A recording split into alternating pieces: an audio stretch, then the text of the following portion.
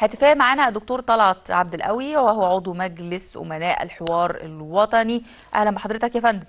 أهلا وسهلا يا فندم. أهلا وسهلا. مش يعني حضرتك بت- بتقرأ هذا المشهد إزاي؟ ما يحدث؟ يعني طبعا قراءة المشهد قراءة بقت واضحة جدا بالنسبة للجميع.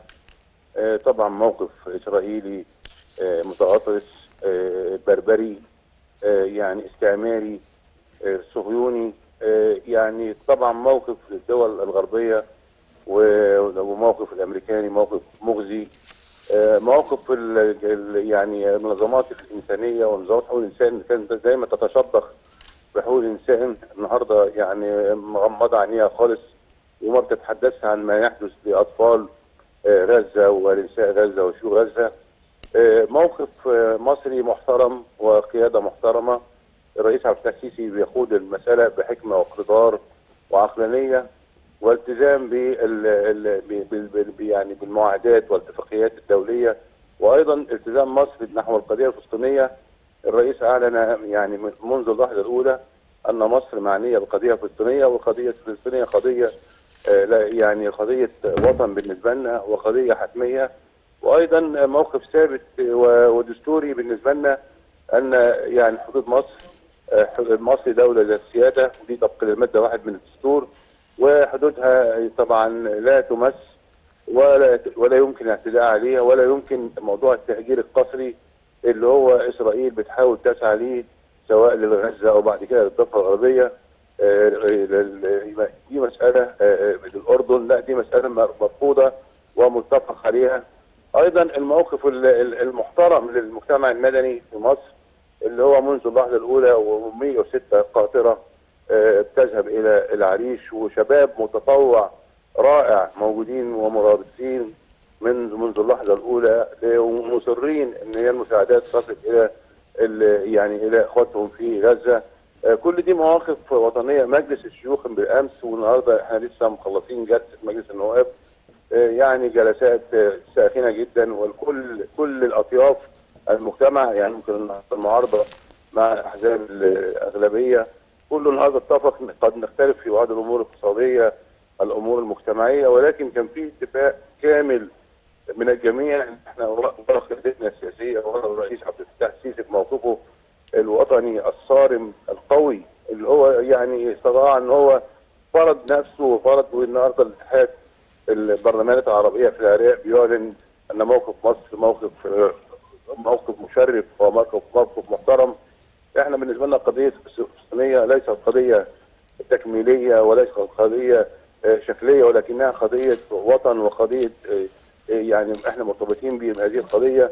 خروج الشعب المصري بالأمس وخروجه اليوم وخروجه غدا إن شاء الله بنقول للرئيس كلنا إن إحنا الرئيس مفوضينه. ورغم إن الرئيس طبقا للمادة 144 من الدستور والقسم اللي هو أقسمه إن هو المعني والمسؤول عن الحفاظ عن امن وسلامة هذا الوطن. وأن أيضا الرئيس برضه طبقا لمادة 205 من الدستور اللي هي مجلس الأمن القومي اللي هو النهارده معني باتخاذ أي قرارات في حالة الكوارث أو الأزمات أو المشاكل الكبيرة دي إحنا طبعا مفوضين الرئيس ثقتنا فيه وثقتنا في حكمته وفي قيادته. لابد ونقول للإسرائيليين وده الكلام ده اتقال في جلسة مجلس اليوم يعني أنتوا يعني خلاص ال- الآلية ال- الاسرائيليه والجيش الذي لا يقهر قهر قبل كده من 50 سنة 73 وقهر يوم 7 أكتوبر ومجموعة من الشباب الفلسطينيين. بنقول أنتوا عايشين تعيشوا في أمن وسلام. يعني المجال مفتوح. بعد كده المجال مش هيبقى مفتوح فيكم إحنا يعني اسرائيليين النهارده النهارده يعني استخدموا جرائم حرب بكل المقاييس وكل المعايير.